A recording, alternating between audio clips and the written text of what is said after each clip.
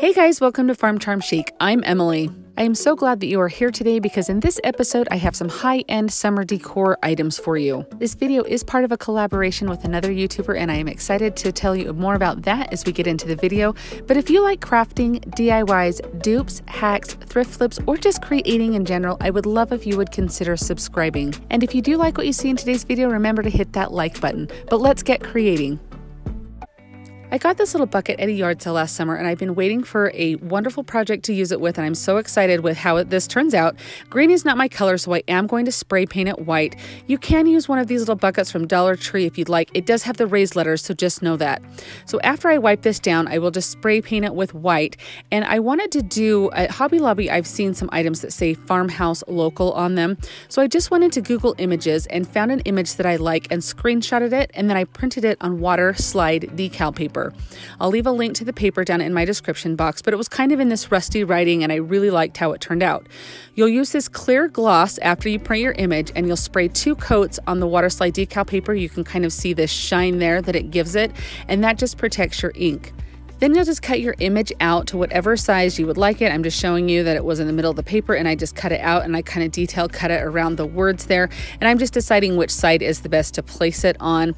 And you'll just get some water. This is just like lukewarm water and you're just going to place it down in. Now it's going to curl up it's okay. Just let it curl up because it's not going to stay like that when it gets on your paper. But you let this soak for about a minute, minute and a half or so. You'll just take it off and it's just going to slide from the backing. And then you're just going to place it on your item. And you can leave the back on it until you place it down and then just kind of slide the back out from underneath it. I just chose to slide it off right there because it was starting to come off. And I just find the spot that I like and you just start pressing it down. You will notice that there is some kind of like adhesive or glue or stickiness on the back of this little um, water slide decal and that's what's going to adhere it to your item. So I'm just taking a paper towel and I'm just moving the water from the outside or from the inside to the outside. So I'm just kind of removing any bubbles. I'm pressing down to absorb any water and then you still have room to slide it if you need to slide it either direction or anything like that. It, it's very easy to use and you have a lot of wiggle room to kind of get it just precise and exactly how you want it. So you're just pressing down, removing any uh, air bubbles or anything like that, making sure that there's no wrinkles or anything like that, and that you're drying it off. And then you're just going to let it sit for a little bit to completely dry. Then I am just taking some Mod Podge because I do want this to have a shimmer. The spray paint I used was kind of a chalky finish, and that paper, since I sprayed, sprayed the clear coat on it, is shiny. So I want this all to match. So that way I'm trying to make it so you can't tell that there's a decal on the front of this. So I'm just going over with some clear gloss Mod Podge and you guys, you cannot even tell that there was like an edge or anything to that. It honestly looks like this is printed right onto this bucket. I absolutely love how it turns out, and I love the water slide decal paper. This was the perfect size for a couple of little IKEA plants to sit down in, but how cute would a little strand of beads, uh, wooden beads be hanging out of this?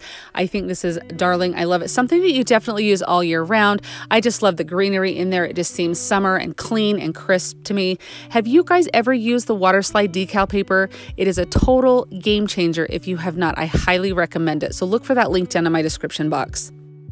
Collaboration videos are one of my favorites because I love getting to work with other creators, but most of all, I love introducing you to people who are going to give you wonderful creative inspiration. And today is no exception to that. I would like to introduce you to Mia from Make It With Mia.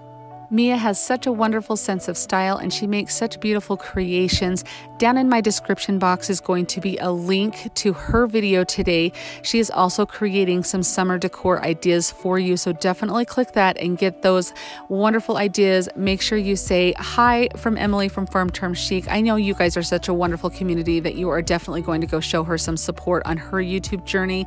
Here's just a look at some of the things that she has created. I think they're absolutely beautiful. Just going through her Instagram Instagram page, you guys. She has so many beautiful DIYs, and these were just a few that stood out to me. So definitely remember to click that link down in my description box, head over and watch Mia's video and show her some love and support. But let's get right back to creating. I don't know if you guys remember back when I got this little sugar mold off of Amazon. I absolutely love it. I've been looking through the antique stores to find one. You can find them at a lot of different home decor stores right now, but I'll leave a link to this one that I found on Amazon. And I had decorated it for spring with some carrots like this. And I'll leave a link to that video if you want to see how I did that. But I am going to change it up for summer. I was so excited to find this on Amazon and it was fairly affordable and I just wanted to be able to change it for seasons. So I had just lightly hot glued this little picture on there there and I'm just showing you it comes right off. It looks perfectly great and I'm just going to update it with a little bit of a summer flair. I have this faux lavender that I got at Joann's and I'm just cutting off like three little sprigs to go in each of the little holes there. You could easily use anything from Dollar Tree would be super easy and super cute. Whatever your favorite florals were, you can make it whatever color. Down in each of the little hole sections, I just have some Spanish moss and a little bit of reindeer moss on top to add a little bit of greenery. I did not glue those down in because I wanted it to be, um, I wanted to be able to remove it for different seasons if I needed to, if I had different ideas. Now I'm just taking some burlap ribbon and I am just going to put this around all of the edges and I will just glue it not to the wood, but I will just glue the ribbon to itself so it's easily removable when I'm ready to change it. Keep in mind that where this is not exactly straight up and down, there is an angle to it. The ribbon doesn't sit completely flat on the back. It kind of curves up, if that makes sense. You'll be able to see when I flip it over. Um, and so it is going to go next to a wall, against a wall, so you would not see that. So just keep that in mind of where you're putting yours. I have this little chicken wire ribbon that came from Hobby Lobby. And I know this does not show up the best on camera. You can see it really well in person, the contrast. So if I, if you were to do this or wanted to do a darker color of ribbon or something, I just thought this added a little bit of texture and I loved it. Can you see how that doesn't sit completely straight on the back? Like it kind of goes up to a little bit of a peak. And that's just because this is kind of a, an angled cut that's to the piece of wood. Now I just kind of wrap the ends of the uh, twine there, not the twine, I'm doing twine right now, but of the chicken wire on the back to uh, make sure that that stays. And then I just take um, a few yards of jute twine and just wrap it around the chicken wire to add just another little element of texture there. And then I'll do, I'm going to do a cute little bow to put on the front of it. So I'll just tie this off in a knot here and then I'm just wrapping around my finger some jute twine and I wrap it around maybe 20 times or so to make a bunch of little loops and then I'll just wrap a centerpiece around four or five or six times. I'm not really sure. I just do it till it looks good and then I'll just tie that off in the back in kind of just a little knot there and I'll use those as the little tails that come down. So I snip those, I make sure it looks good. I'm snipping off the other little tails from that little tie so it'll have a, some cute little tails as well and I just kind of fanned that bow out. And you could do whatever color ribbon you want. These are just what I had here. And I know that they kind of all blend together here on camera. You can see them better in person, um, but a different color of twine would be absolutely darling, like a light color or something to have a little bit more contrast. But it really does look cute. I love how it turns out. Guys, I love this little sugar mold. I am so excited for every season. You'll probably see me do a few more of these to kind of give you ideas to style them because it is so versatile. I mean, I think I paid 13 $15 for this sugar mold and it's going to be in my house all year long and there's so many different fun things to do. And I'll leave a link to that down in my description box if you'd like to check that out. Don't forget that I'm on Instagram also. I love to meet new Insta friends, so I would love for you to come over and say hi, check out my page, and see all the latest projects that I'm working on. I'll be sure and leave a link down in my description box so you can easily find me. Do you guys remember when I made this Gothic window? It was about a year ago when I made it. I'll leave a link to the video down in my description box, but I wanted to make one that was a little bit of a different shape and had a little bit of a different size to it and a different design in it. So that's what I'm going to tackle today. I found an image on Canva. You can find them on Google Images. You can purchase window designs on Etsy, and I just printed it out across multiple pages. I used an app called Split Print on my MacBook, and it does cost about $5 for the app, but you get to do as many times as you would like to, as many different designs like this. Whereas if I was to pay for an engineering print, I would have to pay every time that I did it. So I thought it was a decent investment. So I just cut my design out on the like a right angle. You can see kind of on the side and the bottom of my window. And I'm just using some Gorilla Spray adhesive. Be very careful with this stuff. It does get to be very sticky. I just put a light coat here and then I will place the straight edge of the side of the window and of the base of the window against so that way I know that those two sides right there are going to be completely straight. I just rub out any air pockets, get that adhered really well, and then just using my drill with a large enough drill bit that my jigsaw um, blade will fit through, I just drill what are called pilot holes in each of like the window openings. So you can see how each of those window areas have one there. So I can stick that blade of my jigsaw down through there. Now, if you've never used a jigsaw before, never fear. I'm here to hopefully calm your fears a little bit. That window that you saw at the beginning of my video was the very first time I had ever used a jigsaw. They are very easy to use. I was really nervous the first time I used one that it was going to be like more than I could handle. It was going to go so fast and I was not going to be in control. And that couldn't be further from the truth. You have complete control. You have a little trigger that you'll press with your finger on the handle and you get to to control how fast you go or how slow that you go. So it is very easy. You get the hang of it very, very quickly. Once I started to use my jigsaw, my like literally my creating world exploded with possibilities of different things that I could do. So if you have one at your home or if you have thought about purchasing one before, this one is one that plugs in. You can see I have a cord on it. I think I paid about $60 for it. So it is a little bit of an investment. They do have lesser uh, price models, but I was given the advice to spend a little bit extra for a little bit nicer one because it is a little smoother. So I, I can't tell you what the other ones feel like, but this one is really nice and it is very easy to use. I always wear my safety glasses when using any of my power tools. I do, however, like to wear some earplugs when I am doing my jigsaw. Um, this project from beginning to totally the end probably took about an hour and a half, and that's with painting it and everything. So the cutting out process took maybe like 45 minutes or so, not super long. Once you get going, it moves fairly quickly. You can just see that you have to stick your blade in those pilot holes and kind of work your way up to the lines on the window there. And my window, you can see the frame has that little like area that like I didn't cut that little white area out in my frame. I decided to have a thick frame. So I'm just cutting along the outside of it. So I'm just going up around the exterior of my window right now. And then you'll be able to see that as I go back up on this other side that I'm just holding on to the window with my other hand. So that way when I make the last cut and it kind of breaks free, you'll be able to see here in just a moment. It doesn't fall on the ground and break or anything. I'm just holding on to it. So I, I will be able to catch that. So you'll see here as I get to that point, the window comes loose and I'm able to just have that with my hand.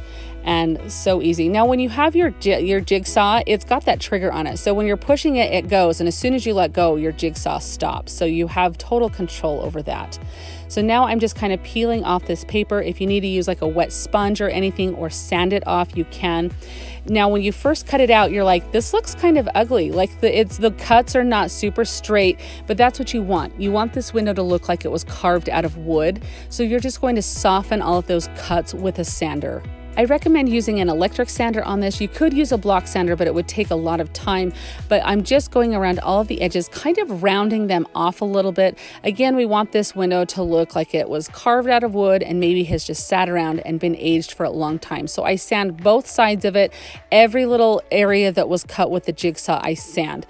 And then I just take this into my studio and I'm just going to give it a couple of coats of white chalk paint.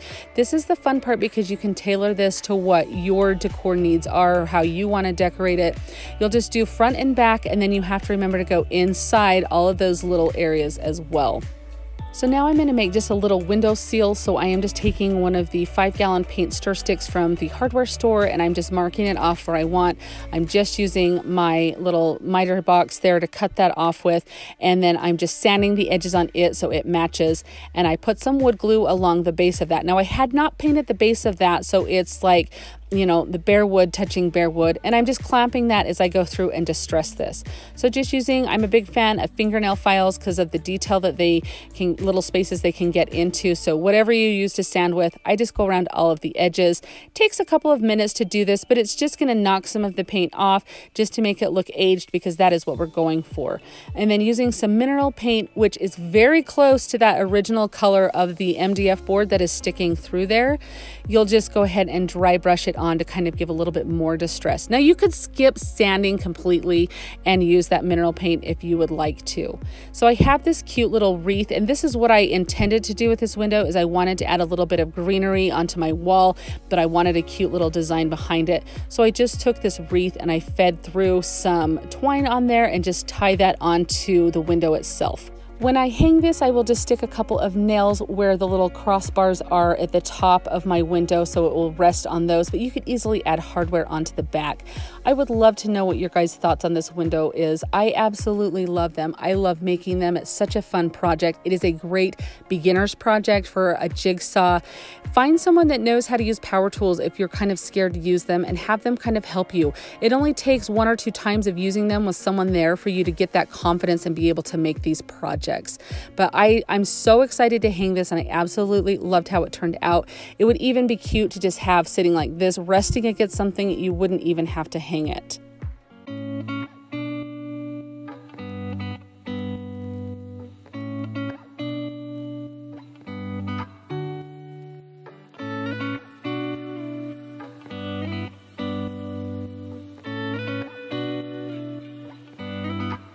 I would like to take just a minute to thank each and every one of you for taking time out of your day to watch this video. I hope that you enjoyed it. Thank you to all of you who have subscribed to my channel. That has meant the world to me. And thank you for those who take time to hit that thumbs up button or to comment on my videos. You guys, all of it means so much to me. I love to hear your sweet words. And I just want to thank you from the bottom of my heart. If you have a favorite from today's video, I would love for you to leave me a comment and let me know which one. If you did like any of the projects, remember to hit that thumbs up button. I would love for you to leave me a comment down in the description box if, if you liked to see the jigsaw um, project that I did my window, if you like to see the power tool items like that, because I will keep different DIYs like that coming if you guys are enjoying them. I also want you to remember to click that link in my description box, head over to Mia's channel and watch her video. Let her know that Emily from Farm Charm Chic sent you. You guys are such a great community. I know you're going to do that and you're going to go show her some love. She really is wonderful and does such beautiful DIYs. As always, I would like to remind you to be safe, be smart, be nice, be happy. Choose to have a good day because you are amazing. Thank you so much, guys. I'll see you next time. If you enjoyed the video that you just saw, here's another one that you might enjoy. And as always, remember to like and subscribe. Thanks so much for watching and have an amazing day.